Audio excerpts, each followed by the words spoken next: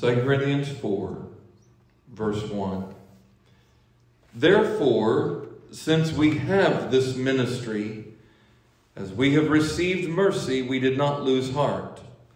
But we have renounced the hidden things of shame, not walking in craftiness, nor handling the word of God deceitfully, but by manifestation of the truth, commending ourselves to every man's conscience in the sight of God. But if even if our gospel is veiled, it is veiled to those who are perishing, whose minds the God of this age has blinded, who do not believe, lest the light of the gospel of the glory of Christ, who is the image of God, should shine on them. For we do not preach ourselves, but Christ Jesus the Lord, and ourselves your bondservants for Jesus' sake. For it is the God who commanded light to shine out of darkness, who has shown in our hearts to give the light of the knowledge of the glory of God in the face of Jesus Christ. Father, we are thankful for your word. We are grateful that you have provided us with your word, Lord, that you have made it accessible, that we can read it, that we can study it, that we can mull over it, and to be instructed by it. Lord, it is food to us, Lord. In the language of the Old Testament, it is a lamp unto our feet, it is a light unto our path. And I pray, Lord, this morning that you would give us ears to hear what your word is saying to us. In Jesus' precious name. And everyone said, Amen. Praise the Lord. It's interesting that we think about the life of Paul, who is writing Second Corinthians. He was raised up, we would say today, in church.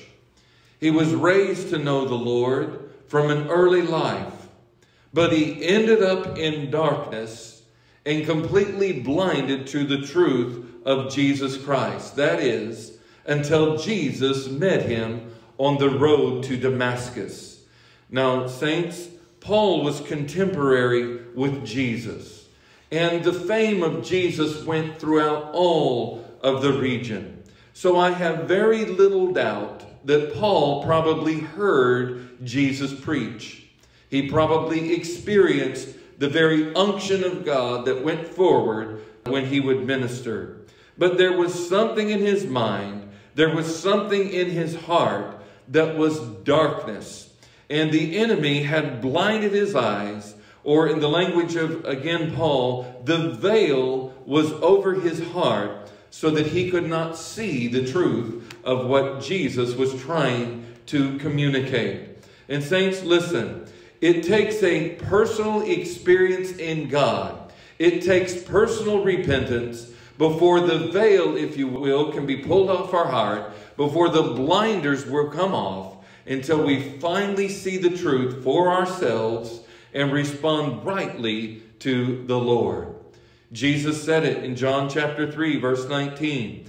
Men love darkness rather than light because their deeds are evil. They don't want to come to the light lest their deeds should be exposed. They don't want them to be tried. I was thinking as I was studying for this message that Jesus told us to be the light of the world. He said, You are the light of the world. A city that is set on a hill cannot be hid. And the fact that we are the light of the world is only the fact that the glory of God is in our life. In other words, we are burning with the fire of the Holy Spirit. How many of you know the brighter that the fire is, the brighter the light is? And saints, I want to be burning for the Lord. I want to be burning because that is where the light comes from. When you're on fire for God, when you're burning for God, saints, the very presence of God emanates from your life and it impacts the people around you. When we begin to dim down and get very, very dim, then the impact that we make becomes less and less. But Jesus was burning. He was a light shining in darkness. He said, This is the condemnation. Light has come into the world but men love darkness rather than light. And Paul was right in the middle of what Jesus was talking about. As a matter of fact, Paul was a Pharisee, not just any Pharisee. He said that he was more zealous of the traditions than the others that were before him. He was a Pharisee among Pharisees. So when Jesus would say things rebuking the Pharisees and their hypocrisy, when he would say things that were against the religious leaders, he had people like Paul, when he was known as Saul at the time, square in his crosshairs. He was referring to them. And how many of you know if you do not have a tender heart, if you don't have a heart that is receptive to God's word, you will harden yourself against what is being said rather than change. And clearly, this is what Paul did. The more that Jesus preached, the darker his mind got. The more he resisted God, the more he resisted the Holy Spirit. And it is a shocking thing to consider. Paul was the type of guy that if you were to walk up to him and ask him something about the Bible, he could have probably quoted the first five books of the Old Testament, which we know as the Torah or the Pentateuch. He very likely would have memorized much of the entire Old Testament that the Jews called the Tanakh. So he knew God's Word. He had God's Word in his heart, but he was fighting against the Lord. He was doing everything he could to resist the Holy Spirit in his life. He wouldn't let God deal with him. You see, he was very religious, but he was not spiritual. And there is a difference. I was looking at some old photos of, I've seen them of Kansas City, and there are even some that I just saw this morning of St. Joe, where there were people that, did you know that just ordinary people walking the streets, saints, wore a suit like I'm wearing now with a hat on their head? The men did. I mean, it was everybody, except the guy sweeping the street. He was wearing a uniform. But you know, saints, the Victorian era placed a huge emphasis on the outward person. You, you would see women, they would be wearing these really big, bulky kind of dresses and things. And I'm not knocking that. I'm simply saying this was how they were expressing, as it were, their life and particularly their faith in those days. But, saints, it's not about the outward appearance. It's not about the fact that I'm wearing a suit this morning. It is what is the hidden man of the heart. Right. What is on the inside? That is what matters. And if the inside of me is right, it will reflect in the glory of God. In other words, I will be a light in the world. Paul was doing everything religious. He probably had on all the religious garb. He probably walked around with his tallit, which was his prayer shawl. He'd probably throw it up over his head and pray like everyone else. He knew all of the things to do. In other words, he knew where to say amen. He knew when to shout hallelujah. He knew everything there was to know about being religious. But he was not spiritual. And there is a great difference. As a matter of fact, throughout the course of his life, he turned against Christ, fighting against the Holy Spirit to the point to where he began to persecute the church. And he wasted it. When Jesus met him on the road to Damascus, it's interesting that what Jesus said to him was, Saul, which was how he was known then, Saul, Saul, why do you persecute me? You say, well, he was persecuting the people. That was just his way of expressing his persecution of Christ. You see, he was against Jesus. He was persecuting Jesus. And the people were just a point of contact for what he was doing. What he was doing was against the Lord himself. And Jesus asked him, Why are you persecuting me? What are you doing this for? Why are you against me? It is hard for you to kick against the goads. He heard Jesus preach, and God undoubtedly dealt with him, but he hardened himself. He watched people that he persecuted and killed lovingly and faithfully serve the Lord to the end. I've often wondered when Paul got older if he didn't have nightmares maybe about this, or maybe he'd just be bothered by the fact he would see the faces of people that he had persecuted. He'd see these poor women and these children that would be crying and asking for mercy, but he would be just merciless to these people. You see, his heart was full of darkness. He was religious, but he was full of darkness, and that is a horrible place to be. He heard Stephen cry out, Lord, lay not this sin to their charge. He heard him say to the Lord, Lord Jesus, receive my spirit as they stoned him. But Paul watching over the garments of the people that were doing it, his heart was still in darkness. Think of that. Stephen, the light of Christ penetrating, just, just penetrating in his life, and yet still no movement. And at some point, somebody might say, you know what? I don't think this guy is ever going to be saved. I think this guy is going to die lost. He has seen so many miracles. He has seen people go down into the grave trusting the Lord. But yet still, he's not changed. He's still in darkness. His heart is still hardened. But then one day, saints, understand that God had an appointment for him to be changed. God had an appointment for Saul to be changed.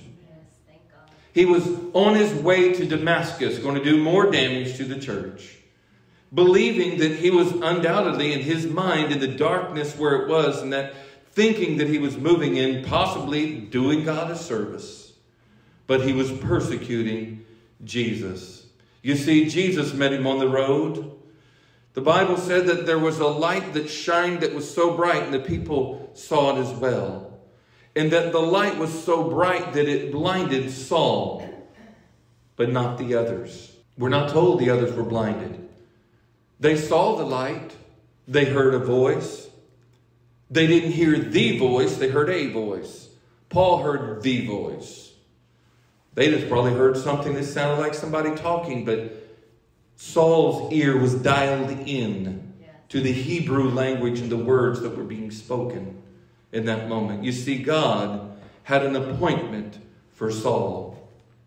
He had a time when he was going to do a work. He was going to call him and turn him from his evil. And, saints, listen, sometimes it takes God's intervention to change people. Yes. It takes God's intervention to change people. Their heart is so hardened. Their mind is so darkened that it's like no amount of light seems to be able to penetrate. I mean, I can't even imagine what it would be like to see and hear Jesus preach and still walk away in darkness. To see someone like Stephen ministering, crying out to the Lord, and still go away in darkness. Later in Paul's life, he characterized it saying, I was the chief of sinners. And the old time preacher said, Well, if God can save the chief, he can save all the Indians. He was the chief. He said, Because God used me as an example moving forward of his grace, of his ability to save and to change people. Saints, listen to me. America is in darkness. And we are the light of the world. And many people in the world today and in America, saints, listen, have run roughshod over all the grace that God has shown them. Oh, it wasn't God. That wasn't God that did it. Oh, it was us. We did it. Oh, it was our technology. Really. Saints, listen, I happen to believe that without God's intervention, COVID could have killed all of us. Amen. Hmm? Without God's intervention, it could have wiped out this entire earth. But he's like, oh, it's our technology. It saved us. And listen, that's what you do when you're in darkness. You do not give God the glory. You don't give God the credit. You explain it away. It was something else. Well, you were healed. Well, you were healed, but what was the doctors? Well, you didn't even go to the doctor. Well, it must have been a fluke. Maybe it was a misdiagnosis. See, when you're in darkness, you explain away everything that God does. You don't give glory where glory's due. You don't give credit where credit is due. I think about there was a man in the Old Testament by the name of Nabal. And Nabal is, if you don't know this, is the Hebrew word for fool. It means to wilt. Plant wilts not because of anything other than it doesn't have light or it doesn't have water. Maybe you put some Roundup on it, but I'm just saying, normally speaking, But this man had wilted. God had been good to him. And David had been good to him. David had been watching over his flocks and his herds and all of these different things. But when it came time for David to go down and ask for some provisions, this man Nabal said, Who is this man David? You know, there's a lot of men done escaped off the farm type thing. And I mean, he greatly insulted David. And I told somebody once before, and I was talking to them, and I said, You know, I said, this is exactly what people do to God. God's good, God's watching over them, He's protecting them. And when it comes time for God to get a little bit of glory, that's well, what, what, what should I give that to God for? I've seen people say the most demonic and diabolical things, refusing to give glory to God that your ears have ever heard. I have seen people say things that the animals would begin to bark at them. They were so evil.